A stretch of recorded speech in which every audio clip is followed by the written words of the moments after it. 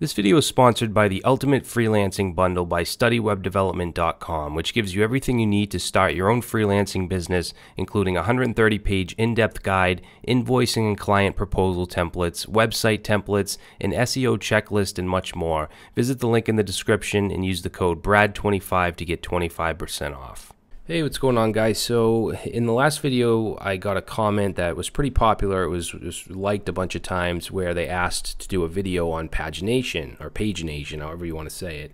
And it's kind of a tough subject because it's there's so many different ways to do it. Um, you know, you have you have it where you can keep making requests to your server and you get a certain amount from the database or you can have front end pagination, which is what we're doing, where you make an initial request for, let's say, 100 different posts, and then you create the functionality so you can have maybe five per page or 10 per page. So that's what we're going to be doing. We're not going to be doing any server side stuff, uh, but you can use this in a lot of different situations. And this is a good way to do it if you if you're not if you don't have thousands and thousands of um, you know resources, whatever it is, posts or whatever. Uh, if you have a hundred or so, then this is a pretty good way to do it. Just within React, you don't have to deal with any backend stuff or anything like that. So what we're going to do is grab a bunch of posts. This is um, JSON placeholder. I use this all the time. It's a fake REST API.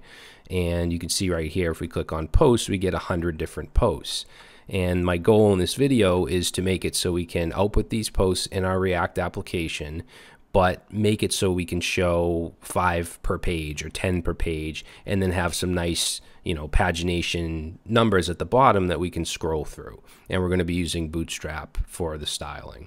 All right so let's jump in. I just have my create react app. I did clean it up a little bit as you can see. I just deleted some of the files. Um, just have a simple app app component functional component. We are going to be using hooks um, so we're not using classes or anything like that. Uh, and then in my index HTML, you can see I just brought in Bootstrap. So that's pretty much it if you want to get up to speed. I also installed Axios uh, so that we can make our requests. All right, so let's start off uh, in the app.js. I'm going to import Axios because the first thing I want to do is just get the posts.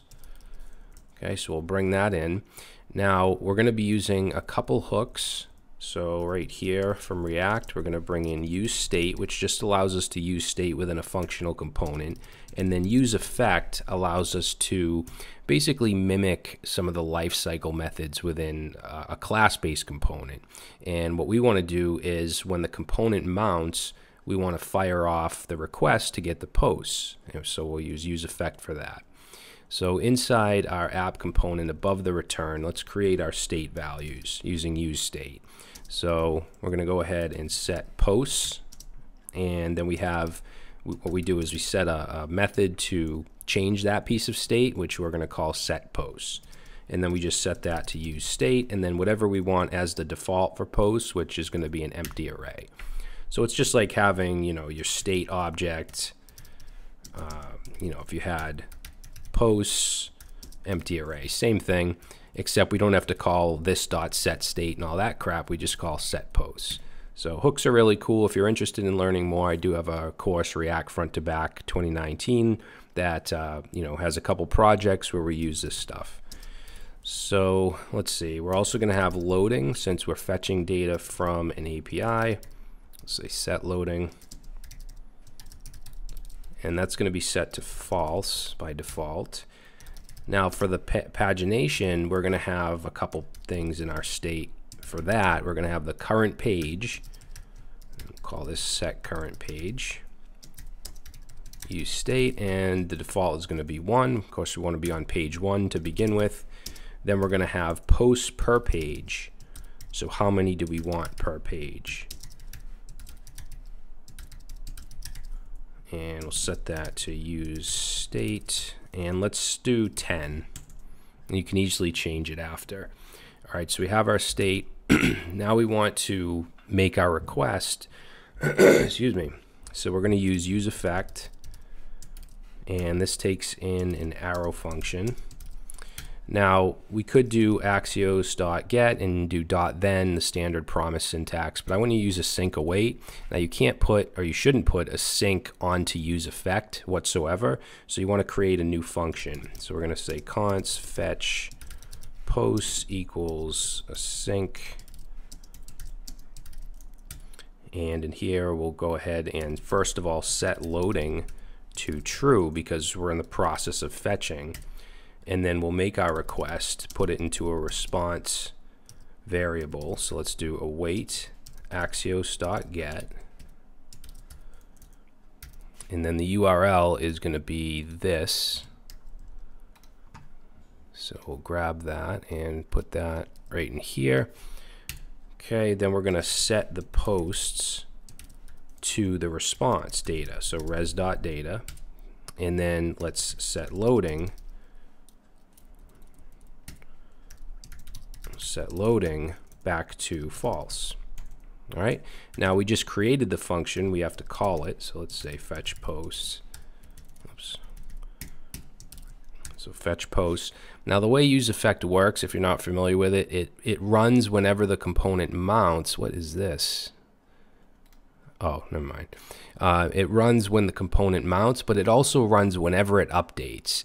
And when this runs, it's going to update the component. So what will happen is it'll be a never-ending loop. Now to stop that, we simply pass in an empty set of brackets. Okay, this is where you would put dependencies where, you know, if you wanted it to run when something specific change, you could put that in here. But we're just going to leave this blank, which makes it kind of mimic the component did mount lifecycle method. So it'll only run when it mounts, which is what we want.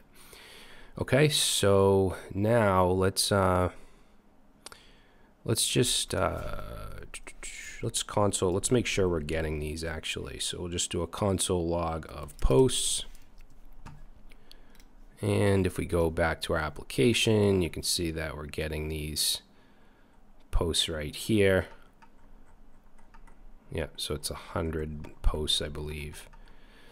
All right so let's um trying to think here. We're going to have a separate post component that we're going to pass them into and then within that component we're going to loop through. So let's create a new folder in source called components.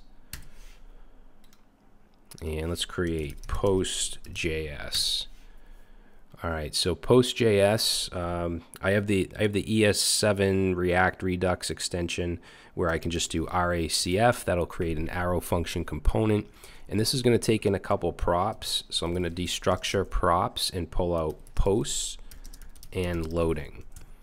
Okay, and we'll go right here and let's first make sure that it's done loading because you saw in the console log it had an empty array and then it had the post. So we just want to make sure they're loaded. So let's say if loading, then let's just return. We'll return an H2 and say loading or you could put a spinner or whatever you want. And then down here, um, let's do a, a UL, and we're using Bootstrap, so I'm just going to add in a class name. What's going on with my typing? Class name of list group, and also margin bottom 4.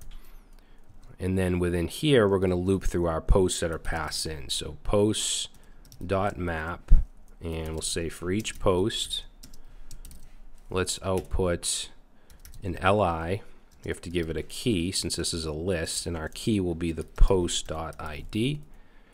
and let's also give this a class name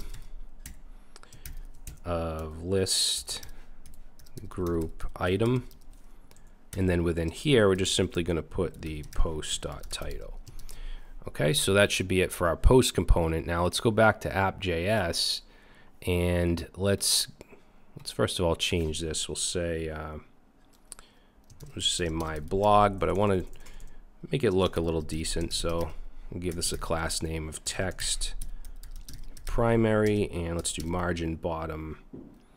Uh, we'll see margin bottom three. I also want to push everything down a little, so we'll do margin top 5 for the container. All right, so we're going to insert posts. Now remember, post takes in post as a prop. It also takes in loading. like that. All right, so let's save. Post is not defined. We didn't bring it in.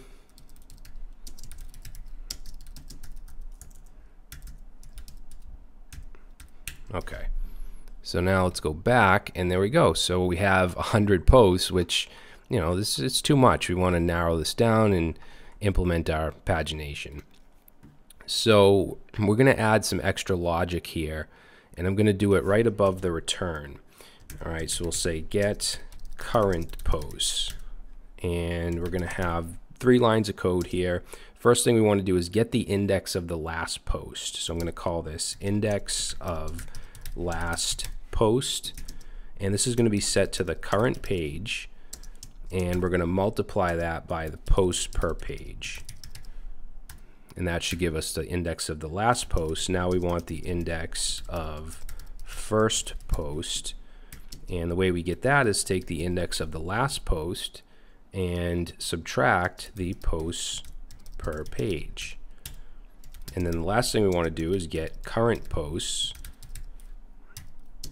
and let's set that to this the state, which is all the posts, but we want to slice and then pass in the index of the first post and the index of the last post. So that'll slice out the the the number of posts that we want, which should be 10. Now, instead of passing in posts that's in our state, uh, we're going to go ahead and pass in current posts like that. All right, so if I save and we go back, now we only get 10 posts. Okay, and if we want to change this to 5, now we only get 5. Okay, so that part is done. I'm going to change it back to 10. That part's done, but we have no way to actually get to page 2 or 3 or any other page. So that's where the pagination comes in. Uh, now I want to create a separate component for it. We could put everything in this file, but that that's kind of messy. So in components, let's create a new file called pagination.js. And you can use this in, in all your projects. You know, just take this same code and, and throw it in there. I mean, there's there's React there's pagination packages you can use. You can install with npm, but you want to try to re reduce the amount of packages that you have if you can do it yourself. So let's do RACF. We'll create a functional component. This is going to take in a couple props. Whoops. It's going to take in a couple props. It's going to take in posts per page and total posts. And then let's see, we're going to go right here and create a variable called page numbers, which is going to be at first just an empty array. And then we're going to do a for loop here and let's set uh, let's set our index to 1 and then what we want to do is say if index is less than or equal to the total posts divided by the post per page. But we want to round that up so we're going to wrap it in math.ceil and then total posts uh, divided by post per page so the two props that were passed in and then of course we need to increment i. And then in here, we're just going to take the page numbers array and we're going to push onto it the index. Okay, so those will get that'll give us the page numbers, the correct amount of page numbers.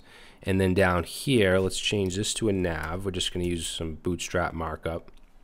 We'll have a UL with the class of pagination. And then we want to loop through the page numbers. So page numbers dot map.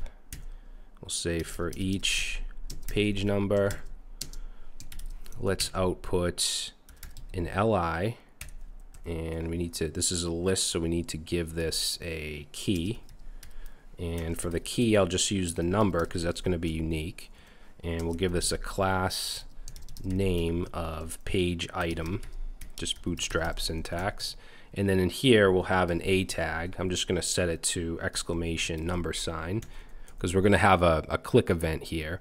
And then let's give this a class name of page link. Again, just bootstrap syntax. And then in here, we just want the number, the page number. All right, so let's save that. And now we just need to bring in pagination into our app.js, and we also need to pass this stuff in as props. So let's go to app.js. Let's bring in pagination. And down here, let's say right below posts, pagination, and we want to pass in the posts per page. And then we also want the total posts. And we can get that simply by taking the posts that we get from the API and just getting the length.